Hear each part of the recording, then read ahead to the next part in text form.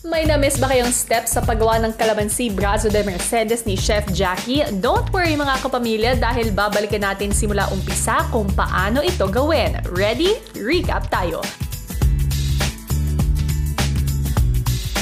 Maghanda lang ng walong itlog na pinaghiwalay ang egg yolk at egg white, asukal, condensed milk, calamansi juice at powdered sugar. I-whip ang egg whites until mag-form ng merengue. Ilagay ang asukal habang binibit ang egg whites.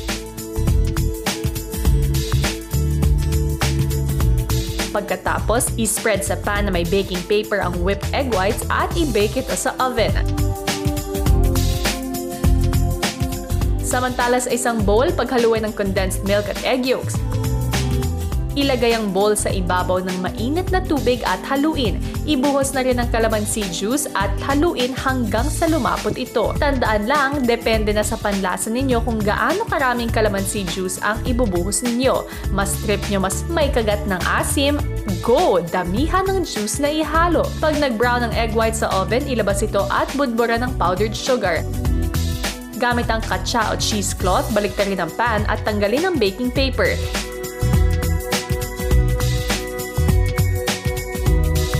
I-pipe ang yema filling sa ibabaw at i-roll hanggang sa mag-form ang calamansi brazo de Mercedes.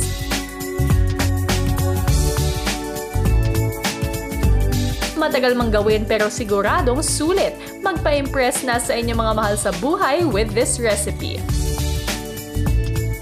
Pero kung ang trip ninyo ay traditional panghimagas tuwing Pasko, sino ba naman ang hindi mag enjoy sa puto pumbong at bibingka?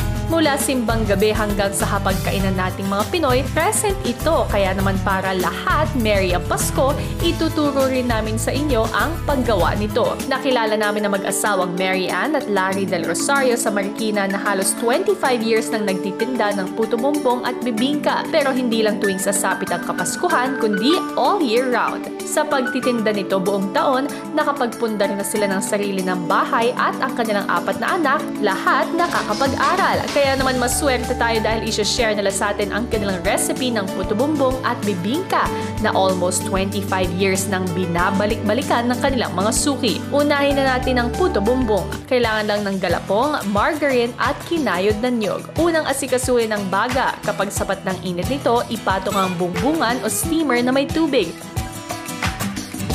Sunod na ilagay sa ibabaw ang bumbong o kawayan na binalutan ng puting tela. Hintayin lamang itong kumulo, sunod na maglagay ng galapong mixture sa bumbong at saka ito isa lang sa steamer.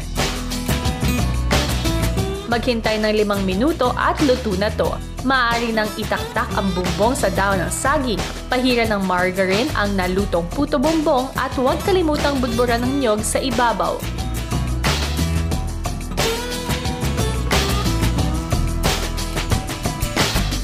Kung dagdag na saya ang hanap nyo, gawa na rin kayo ng bibingka. Maghanda lang ng bibingka batter, itlog na maalat, asukal, keso, margarine at kinayat ng yog. Umpisahan ang paggawa nito sa pagpapabaga ng uling. Pagkatapos, ilagay ang orno o parang flower pot. Patungan ng orno ng lata na may baga sa loob. Painitan sa ibabaw ng lata mga dahon ng saging. Kapag handa na ang mga dahon ng saging, tanggalin na ang lata sa ibabaw ng orno at ilipat ang mga dahon sa loob nito. Ibuhos na rito ang bibingka batter at lagyan ang ibabaw nito ng sliced na itlog na maalat at keso paibabawan ang nilulutong bibingka ng dalawang rectangular na dahon na pa-cross at budbura ng asukal. Muli itong patungan ng lata na may baga at hintayin lamang itong maluto. Matapos ang 5 hanggang 10 minuto, luto na ang inyong bibingka. Pahiran lamang ng margarine sa ibabaw at maaari mo rin ito lagyan ng nyog. Ma-effort pero ganun lamang kabilis mga kapamilya kung gusto mo maaari mo rin itong gawing negosyo kagaya na lang ni na Marian at Larry. Malay mo, ito na ang next big thing ng buhay mo.